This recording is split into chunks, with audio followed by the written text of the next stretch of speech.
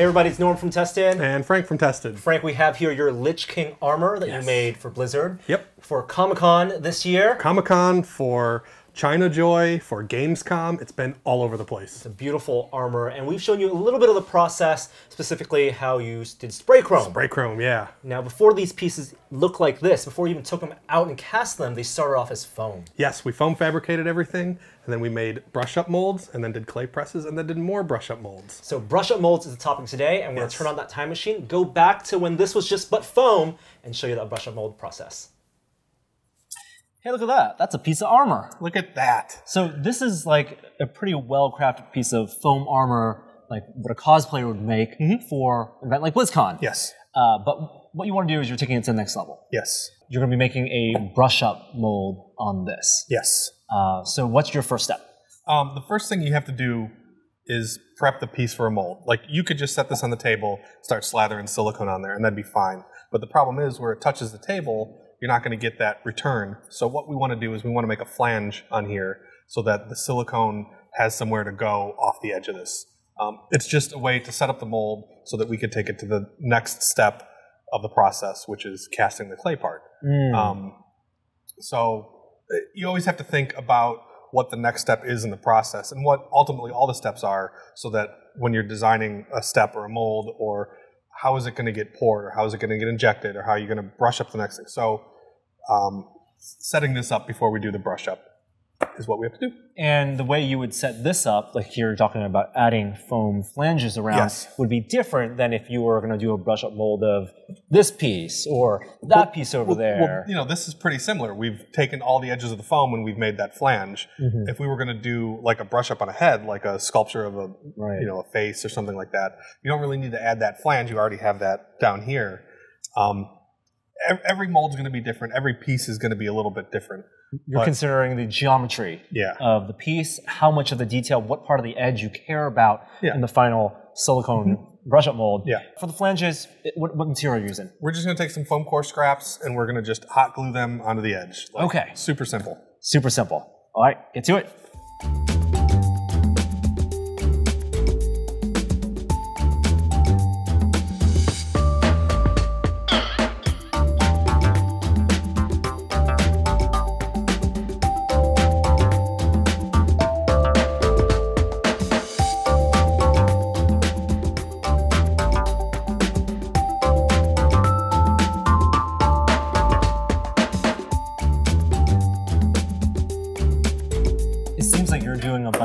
mental gymnastics. Obviously, you have the experience, but thinking of the negative space of what that mold has to look like once you paint the silicone on top. mold making is always a, a giant game of Tetris. Like if you want to be a better mold maker and visualize these things inside out and upside down, play more Tetris.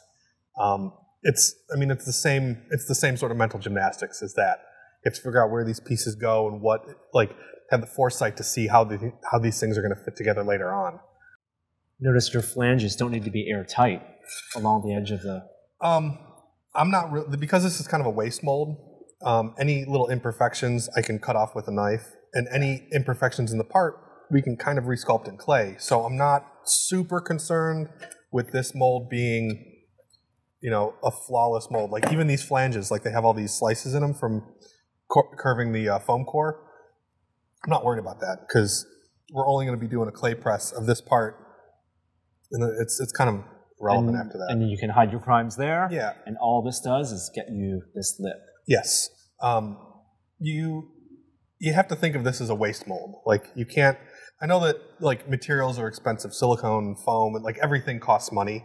But when you're thinking about trying to do these like larger processes, like this is no different than like a piece of Kleenex or a chip brush or something. Like this whole mold process, even though it's expensive, is a disposable step.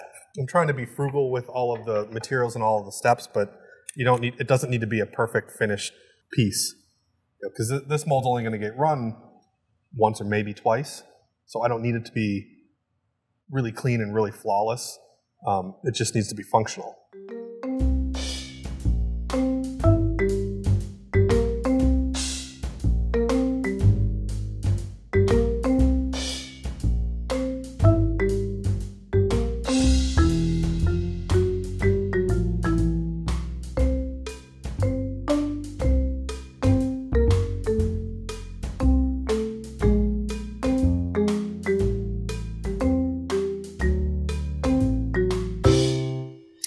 One last thing I did before we do the brush up is I sprayed the whole thing with crystal clear to kind of it helps seal the foam a little bit, seals the foam core, and then I also glued it to this turntable so that way when we're doing the brush up, it's not scooting all over the place. Right. Um, and then you know I could turn it around while I'm, and work on all sides. If I had a smaller table, I could work around the table, but it's always kind of nice to have like a mold or a sculpture on a turntable and kind of be able to get around it. Lazy Susan. Yep. Okay, so now to the silicone. Yes. Uh, I see blue and gold, yellow. It's Yep. smooth on. Yeah. Uh, what type of silicone are you using? Um, this is a platinum silicone. It's called Rebound 25. They also have a Rebound 40, which is a little stiffer. 25 shore hardness. 25 shore A hardness. yeah. Yes. That's the measure of how soft or firm something is. Okay. Um, so this is, uh, it's a pretty standard durometer for mold making silicone. Uh, the nice thing about this is that it's got about a 20 minute work time. So you could put it on and it, it's got a viscosity that's nice for brush ups. And so 20 kick- more time, that's relatively short. short for Yeah. a mold making silicone. Yeah, Right. I usually want more time so bubbles rise out, but I want it quicker so that I can do the next layer. Multiple layers. You're not Yes. doing it all at once. It's not No. about pouring silicone. Nope. It's getting those details in one layer at Yeah. a time. So the first layer I'll put on, it's not going to be a super heavy layer because I want it to grab all the details. Mm-hmm. Um, we'll let that sit, and then the subsequent layers, I'll add a thickener called Thivex. It's just a liquid additive that Mm. makes it more viscous, so that way it's more like peanut butter. And then you can kind of trowel it on and build up some thickness. Yeah, I noticed on the labeling, especially also on the Thivex, uh, it says it's rated so you can do verticals. Like if you this is laying flat, Mm-hmm. Yeah. gravity helps. But if you're going to be brushing Doing something like here, this, yeah, you don't want it to just all just run right off. right? So- The more viscous it is, the better it holds to a vertical surface. Yeah. So, and the other cool thing about this, you don't need a scale for this. It's all one to one. So you get the cups with the little measurings on the side, Mm-hmm. and then you just pick whatever number you want. And you have to kind of guess on how big of a batch. Like that's always kind of a game you have to play. Is well, how much do I need to make for this? Um, There's no equation for surface area plus your flanges. Eh, you could probably get into some math and do that, but is it better to be more conservative about how much and make another Yeah, batch? you could always make another batch. That's easy. Um, and you have 20 minutes to kind of get that. If you, you know, like let's say I made 12 ounces and then only got to here, mix up another 12 real quick and finish it. Um, I'm probably going to do like 18, 20 ounces to start off with, and that'll probably get my first layer on here. Um, again, and then I just kind of let that set for about 20 minutes and then do, and then the next layers go really quick. It's just the first one I want it to set up real nice so that it grabs that detail. All right, let's get started.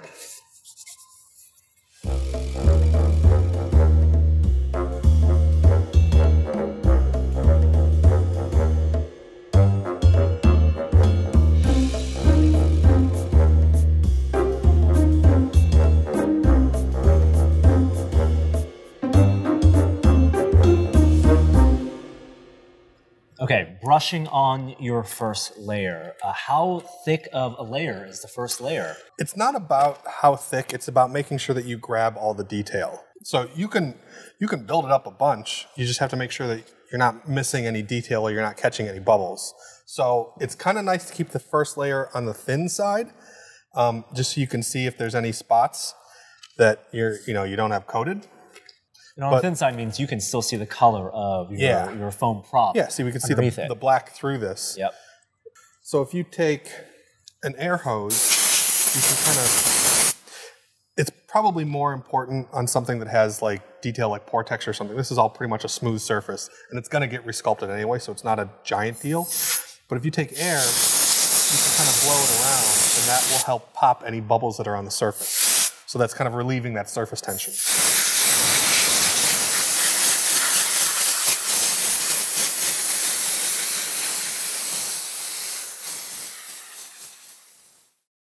It's about 20 minutes later, eh, maybe just short of 20 minutes. Give or take. Uh, so the work time is done on your first layer. Yeah. Uh, you can't really like. There's a point where you can't push it around anymore, and you have to like just kind of let it go.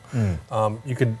There's a couple of spots where it was starting to, like, kind of sag and stuff, and I just kind of pushed it around a little bit. But you see how it's, it's kind of like it's a paste now, and you, you really want to avoid messing with it. Mm. And this is not fully set. If it was fully No. set, it'd be firm. Yeah. Uh, that's still going to be, for this, Yeah. a couple hours. Yeah, it'll be six hours. it's a uh, six-hour demold time.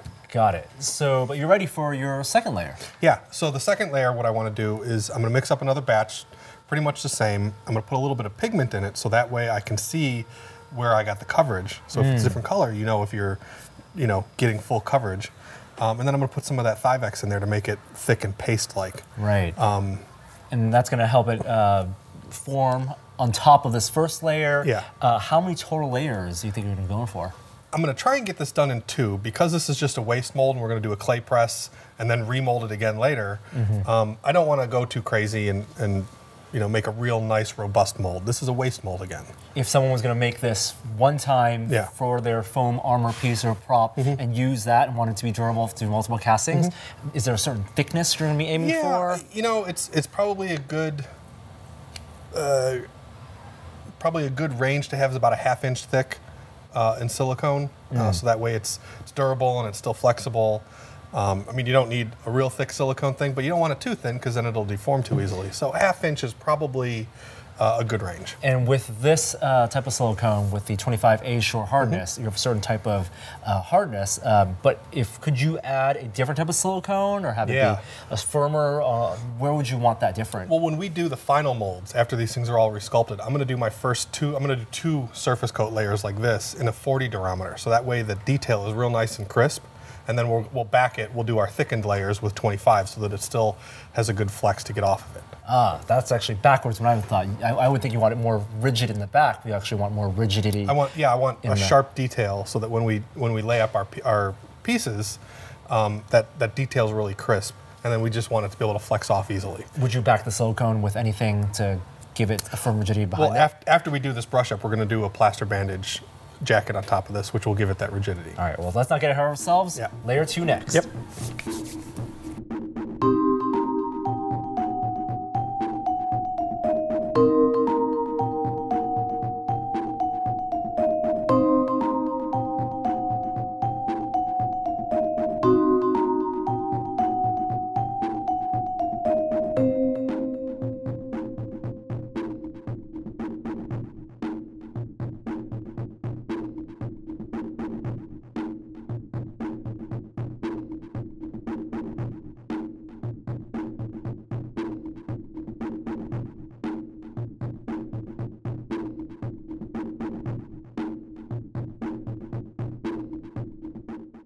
Wow. Two layers of silicone. Yeah, it's like nacho cheese and then bean dip. Yeah, that's right. Uh, how tightly are these bonded? Um, once they're all fully set, they're they're going to be like one layer Hmm. because you're doing them right after another. Um, they chemically bond. Got it. If you waited, if I waited like past that six hours or past like another day, and I tried to put another layer on there, it might delaminate. It might not be a strong bond. But since I'm doing it right after another, it's totally fine. All right, so at this point, you're happy with the thickness, you got really good coverage. good enough for what this waste mold needs to be. Now, if I was going to make this like a final mold that I was going to run a lot of parts in or something like that, I might put some registration keys. I might make the flange a little bit different. There's a whole bunch of things you could do different to make this not a quick throwaway mold. Um, but for what we're doing, it doesn't need to be anything more than that. Now that we have this rubber part, we need to put a jacket on top of it. Otherwise, it's just a floppy piece of silicone. Um, so we're going to use plaster bandages, and this is real easy. It's just plaster bandages that we already pre-cut. and this, this is uh, four layers thick, and then we're just we put it in the water and then put it on there, All right. and that's about it.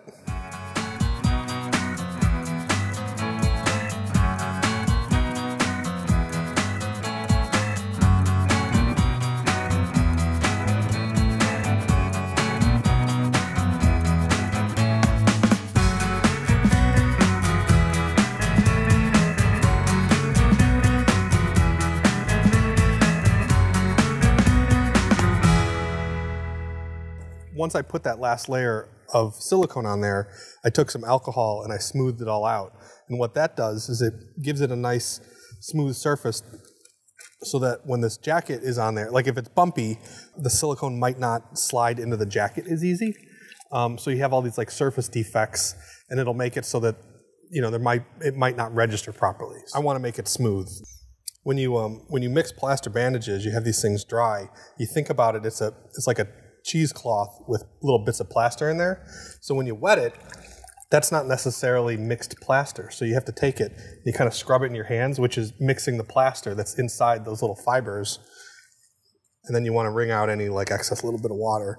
You don't want it to be dripping wet, but you want it to be wet enough, like soaked and mixed. And then you can kind of smooth it out over there. You could push out any little bubbles that might be under the surface, and that's kind of the best way to mix your plaster bandages. How much coverage do you want around the silicone? I prepped all these bandages so that they're four thick. So that means every time I put a bandage on here, that's four layers of this plaster bandage. Um, so I'm pretty much doing one layer. I'm overlapping a bit, but I'm pretty much doing one layer over the whole thing and then kind of rolling it a little bit extra along the edge just to give some rigidity. But it, again, it's a waste mold. It just needs to get like one or two castings out. Everything is all set up now. Set up, hard as a rock. You got two layers of silicone. Yep. You got your plaster to reinforce it. Yep. And you have basically all these other We have- brush up molds. Yeah, we have a bunch of the parts done, and we've already um, put clay into a bunch of them. So let me open this first, and then I'll show you what we did on those. Okay. So it's kind of easy. Remember, I Oh. said I wanted it to be so that the, everything comes apart really nice. Yeah. I don't want anything to hang up on that clay sculpture underneath. So, um, like when I do this, I don't want it to like grab. Mhm. So the plaster bandage comes off nice and easy. And that's where you're talking about you could have made registration Mm-hmm. for the plastic for the silicone, um, but this is bumpy enough that that's going to kind of. It's it's enough that right it'll in. sit in there the right way. There's only kind of one way it's going to go in there right. Mm. and take the silicone brush up mold off, just tear it off. Pretty much. I mean, you want to be careful not to, you know, rip the silicone, but it should just come right off. And you have the most durable silicone on the contact points. Yes. Hey, look at that. Your foam piece is still intact. Yeah. Um, I mean, if you wanted to make a second mold for some reason, or if you wanted to, you know, use it for something else, you could still, you just, you know, take all this hot glue off, and then A that bit piece of is still and fine. yeah, very cool. Um, so this all sits in there real nice, but this is a big giant mess. So easy way to do that is just take some scissors, trim it up. Mm. And all that the uh, the foam core, those flanges, Mhm. that is all around the sides here. Mhm. Um, so you have the extra lip. And remember, we're going to be putting clay into this thing, so Mhm.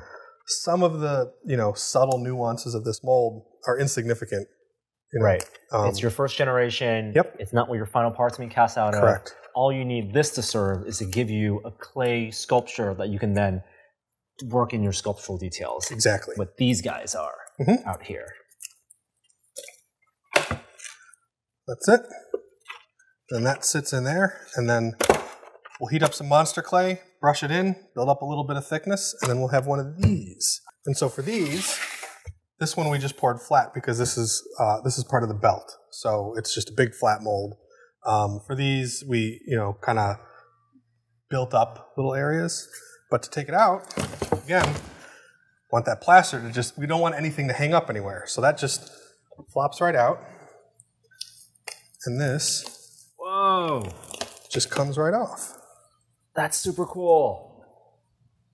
So now we'll take that and we'll add in all the skulls and sculptural detail and all the little details that are going to make this a little bit nicer than just some carved foam. You know, there's a lot of things you can do with foam to make it, you know, look, Look nice. aged and everything. Exactly. But there's some stuff like just having that sculptural touch really takes it over the edge. So that's Right. what we're going to be doing on this. And repeatability too, because if Yeah. you need to make multiple belts, different weather, different styles, a battle damaged one versus a clean one, Yeah. you have this mold that you can cast a couple of these clay sculptures off Mm-hmm. of to make variants.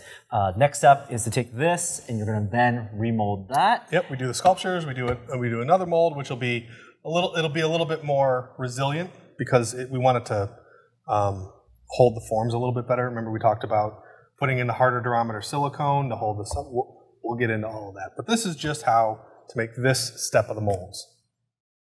So that was just a walkthrough of how to make this waste mold that you then clay pressed Mm-hmm. Yep. and did extra sculpting on. Yeah. And it's a process you use pretty much all the time. All the time, and we did that again after that. Pretty much the same process. Made the mold a little bit thicker, a little bit more durable, but that's it.